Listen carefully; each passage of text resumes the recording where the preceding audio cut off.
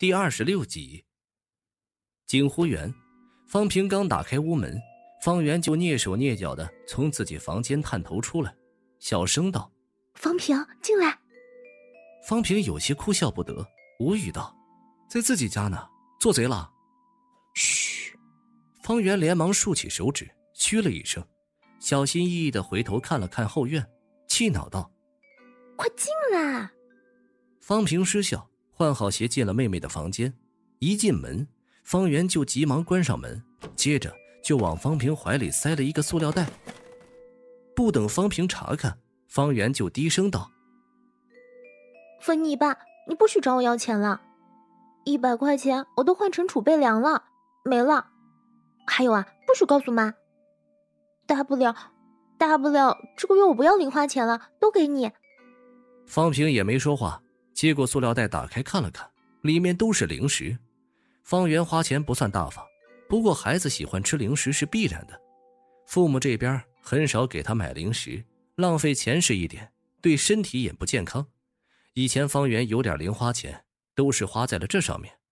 这次难得大哥大方一次，兜里揣着一百块钱的方圆，原本只准备买个十块八块钱的零食，谁知道一进零食店，小丫头就花了眼。等结账的时候，才发现自己缩减了大半的零食，还是把一百块花的差不多了。怕方平说他浪费，小姑娘在家考虑了半天，最终决定和大哥分赃，一人一半。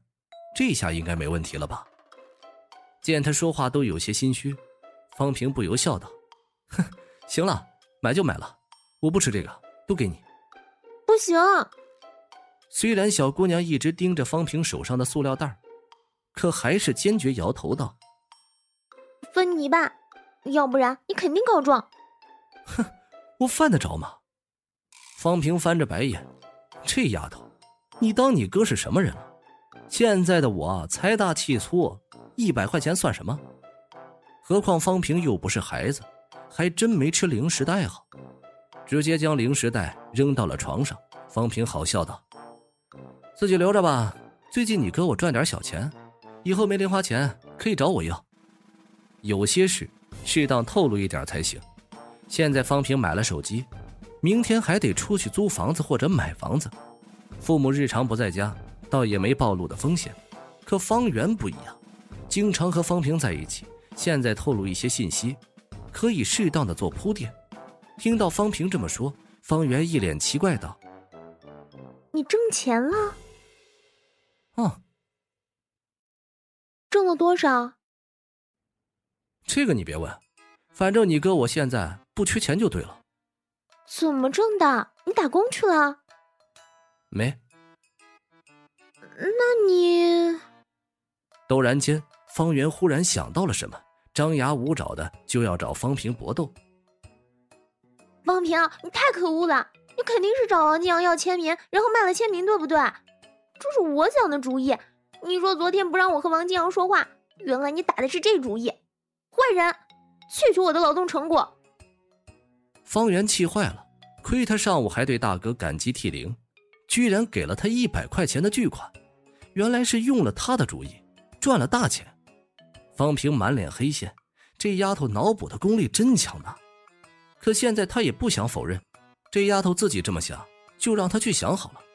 何况这次赚钱。的确和王金阳有关，方平不否认，方圆自然认为自己猜对了，一脸懊恼道：“老实交代，到底卖了多少钱？”“嗯，不多，一千。”方圆试探道：“呵呵，两千。”呵呵。方圆倒吸一口凉气，难怪大哥这么大方，赚了比两千还多，震惊了一阵。方圆眼珠滴溜溜的转动起来，很快就满脸带笑道：“哥，五五分好不好？”啊，我没听错吧？你刚刚叫我什么？方平掏了掏耳朵，一副没听清的模样。哥，大哥，我说五五分好不好啊？不行，四六也可以。小姑娘丝毫没有不好意思的样子，本来就是自己大哥嘛，叫一声哥又不少块肉，等把方平的钱忽悠到手，自然是该叫啥还叫啥。方平笑得不行，摆摆手道：“哼，别想好事啊！再说，你要那么多钱干嘛？等没钱了，我再给你。还有啊，以后好好讨好你哥我，别没大没小的方平方平的叫着。”方圆见没能和大哥分赃，有些不太乐意。不过考虑到大哥现在是大款，最终还是甜笑着点头，心里更是打定了主意，迟早要把大哥的小金库都给掏空。方圆对方平很热情，热情到吃饭的时候还特意给他夹菜。小姑娘的变化把一起吃饭的父母看得有些傻眼。这两兄妹关系虽然不错，可吵闹才是常态。什么时候方圆都学会给方平夹菜了？方明荣看得有些吃味儿，酒也不喝了，敲了敲空碗，眼神朝方圆那边瞟了好几次，明显是在说：“你给你哥都夹菜了，你爸我呢？”方圆也是个鬼精鬼精的丫头，一看老爹态度不善，急忙甜笑着给老爸夹菜，又帮李玉英盛饭。被他这么一闹，晚饭的气氛极好，不算太丰盛的晚餐，一家人却是吃得极为开心。全家开心，方平也心情很好。晚上锻炼的时候，昨天还只能做一百次的俯卧撑，方平一次性做了一百六十个。做完了俯卧撑，一直守着的方圆就差给他喊六六六了，拍马屁是一点。方圆真觉得自己大哥挺牛的，居然可以做这么多次俯卧撑，完全超乎他想象。第二天，周日。早起的方平没再坑妹，故意去敲门，洗漱一番，换了套稍显成熟的衣服。方平将房间里藏着的现金全都塞进了背包中。今天他准备去看看房子，最好是带健身房的那种，便宜了就买一套，贵的话就租一套。如今在自己家里，地方太小，设备没有，方平锻炼身体来回就那么几套，没有设备的辅助。有些动作他自己也做不来，加上功法即将到手，方平也需要找个更适合自己的环境来练功。阳城市区不是太大，方平不想去郊区买房，距离一中和自家太远不方便，所以选房子只能选距离一中和锦湖园都不算远的小区。小区要新，最好是精装修的那种，不用自己去装修。买不到精装房，二手的也可以。环境也要好，房价也得便宜。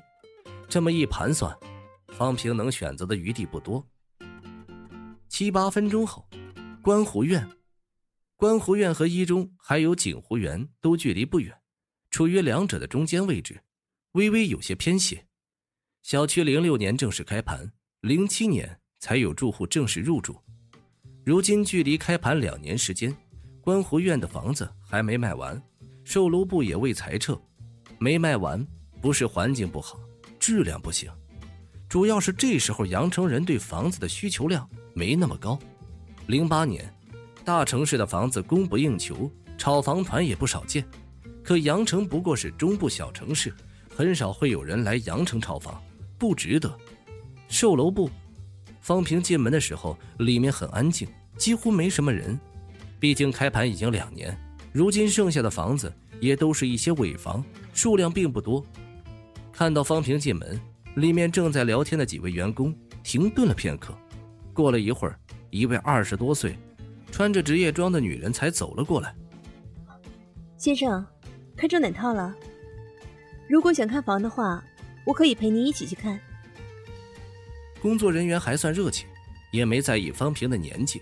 像方平这么大的，有些准备结婚也正常。结婚了，自然需要婚房，也不问方平是不是要买房，直接问他看中了哪一套，这也是一种话术。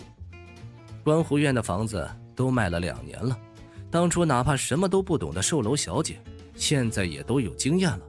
客户进门直接问要求去看房，客户犹豫的时候，不要给客户提供太多的选择，不能这一套看了不好就马上去看下一套。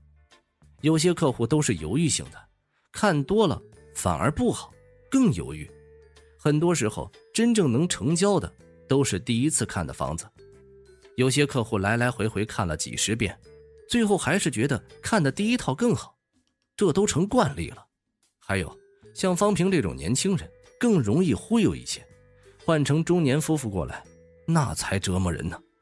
售楼小姐一边想着，一边熟练的说着已经说了几百上千遍的话术。方平也不打断，等他说了一会儿，这才开口道：“有精装好的吗？”“啊，有。”售楼小姐精神一振，这种提要求的才是准客户。那些进来要求也不说，就说随便看看，最后大部分真的都是随便看看。回答了一声，售楼小姐连忙走到一旁的楼盘模型边，指着其中几栋楼盘模型道：“八九十三栋都是精装房，不过现在差不多都卖完了。不知道先生对楼层有没有什么要求？”顶楼和一楼现在还有选择，中高层的话，现在只剩下九栋幺六零四，十栋幺八零幺。其实，在我看来，一楼其实也很好，不但价格便宜，而且出入也方便。售楼小姐大力推荐一楼，如今卖房，一楼和顶楼都比较难卖。观湖苑现在剩下的楼层也都是以这两种为主。方平再次听了片刻，想了想道：“顶层是复式楼。”“嗯，有复式楼，也有带阁楼的那种。这两者其实差别不是太大，不过复式楼挑高要高一些，带阁楼的显得压抑一些。”方平寻思着，自己修炼的话，说不定有时候会闹出点动静来。一楼不太好，路人都能看见；顶楼带复式的就好多了。吴志豪家就是复式楼，在二楼闹出点动静，也传不到楼下去。有了限定条件，能给方平选择的就不多了。此刻复式楼没那么吃香，价格也不便宜。观湖苑这边只有九栋顶楼的四套房子是复式的，其中卖出了两套，只剩下两套还空着。等售楼小姐介绍完，方平马上道：“带我去看看。”好。我去拿钥匙，你稍等片刻。售楼小姐也干脆，急忙去柜台拿钥匙，心里更是有些欢喜期待。方平话虽然不多，人也年轻，可这种提出明确要求再去看房的人，往往只要价格合适，买起房子来格外干脆。前提是有钱。几分钟后，方平和售楼小姐一起到了九栋顶层。等售楼小姐打开屋门，方平一进门就觉得很不错，光线很充足，布局也很合理，没有一般复式楼的那种逼仄感。有的复式楼为了减少公共区域空间，最大化利用，公共空间很狭小，进门就给人一股逼仄感，显得有些压抑。越是大城市，越是繁华地段的小区，越是这样。毕竟公共区域只算一楼的平方。而不计入房产证面积，中空式的复式楼越是大城市越是难见。很多人口中的复式楼顶多算跃层罢了。阳城这些小城市房价不是太高，自然是以宜居为主。说是精装，其实也就是弄好了地板、墙面、门窗，其他的自然是没有的。一楼是客厅、餐厅、厨房、卫生间，一间卧室。外加不算小的阳台，二楼则是两间卧房、一个小书房、一个可以充当健身房的房间以及卫生间。除了客厅中空区域不算两层楼面积，复式楼楼上的房间都要算作实际面积的。方平简单看了一会儿，觉得挺满意的。装修虽然简单，可方平现在也不需要太过奢华。他在阳城待不了多久，等他去了武大。房子自然是要留给父母的，这当前能住人就行，而且这边装修好了也有一年多了，散味儿都不用。看了一圈下来，方平直奔主题道：“多少钱？” 先生，你眼光真好。售楼小姐先是夸了一句方平，接着马上就道：“二六零幺室户型是我们小区最好的户型。”中空区域的空间，我们也不计算面积，算是免费送你的。而且我们观湖苑的复式楼和别的小区可不一样哦。很多小区说是复式楼，都是阁楼隔层罢了，层高很低的，两层加在一起三四米的层高都属于正常，空间压抑。我们可不一样，我们可是按照正常层高布局，两层挑高达到五点八米。售楼小姐狠狠贬低了一下其他小区的复式，自夸了一阵观湖苑，也算不上贬低，只是在报价之前得先说明白了。观湖苑这两套复式卖不出去，和价格也有很大关系。很多人看房都很满意，等买的时候毛病一大堆，又是别的小区不算二层面积，别的小区价格便宜。现在方平问起价格，自然得提前做好准备工作。自夸了一阵，售楼小姐这才说到了关键：房产面积是一百八十六平米，挑空部分都是送您的。要是按照正常的两层楼计算，面积超过二百三十平米，价格也很优惠。您现在购买的话，契税、维修基金我们都会返还。另外，我们还是精装房。你要是自己装修，装修费用都要几十万了。可现在我们是尾房，公司希望能尽快卖出去，优惠力度更大。再次忽悠了方平一阵，见方平无动于衷，售楼小姐有些挫败感。最后说起价格，声音小了一些。总共价格是八十六万。零八年在阳城买一套房子。八十六万，那是真正的不便宜。这么多钱，可以去郊区买一套小别墅了。均摊下来，超过四千六一个平方。而附近的房价，现在一般都在三千五到四千之间。哪怕精装，可这种程度的装修也不是太贵。要是四千一个平方，这房子大概早就卖出去了。可四千六以上，哪怕是复式，有中空区域。愿意买的人也少。报完了价格，售楼小姐又急忙道：“哎，先生，旁边那套要稍微小点，户型和这套差不多。”方平摆了摆手。